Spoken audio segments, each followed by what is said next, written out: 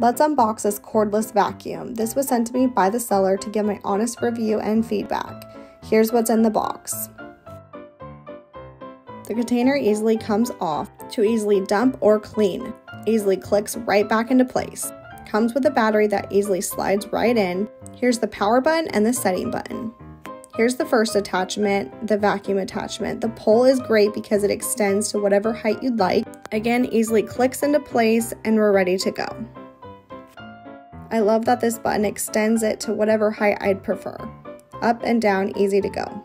There are so many different ways to use this vacuum. You can use the different attachments. You can see here that there's a brush feature, the plastic feature, slides right back in, and then the crevice attachment. These two attachments easily attach, and then you have the vacuum function. Battery slips right in and out. Also comes with a wall attachment. These attachments hook onto it, the battery sticks onto it, and you can hang the vacuum itself from the wall.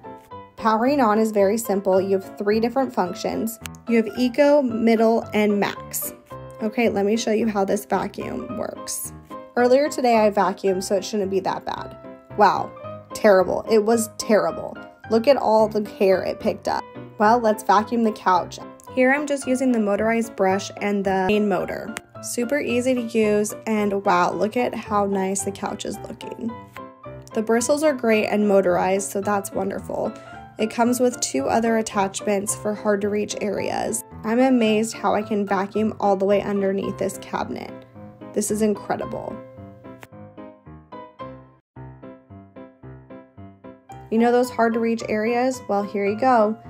It extends. I'm only 5'2", so this actually extends really well to get all the way to the ceiling. Worked really well transitioning from rug to hardwood floor. Picked up all my daughter's crumbs Highly recommend if you're looking for a great vacuum.